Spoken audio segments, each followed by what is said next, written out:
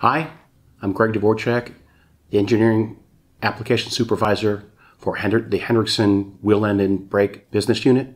Today I'd like to talk about the visual differences that you can look at to identify your air disc brake system.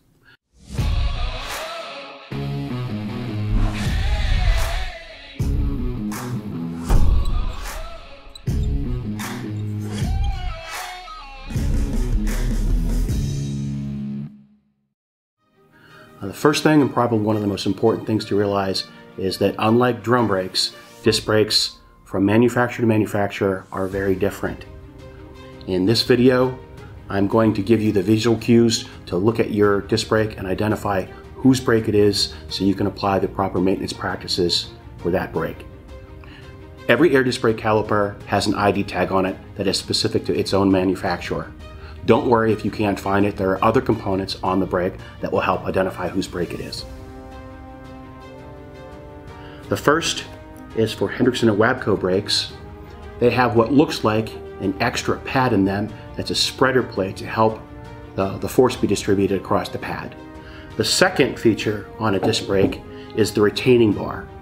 Wabco and Hendrickson have a tubular retaining bar.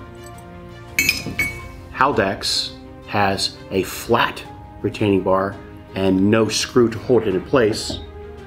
Bendix has a very wide flat plate to hold the, the pads down. The last is to distinguish between the tubular frames, the type of bolt that holds it down will tell you whether it's a Hendrickson or a Wabco air disc brake. Identifying the brake system is key to understanding the recommendations from that manufacturer for wear out limits and proper maintenance. It's a good thing there are some key visual differences to clue us in on what brake system we're looking at. Scan the QR code to learn more about air disc brake maintenance practices. If you can't find the question answered on the MAXX22T site, please message me on LinkedIn or comment below to have your question answered by a Wheel End and Brakes expert.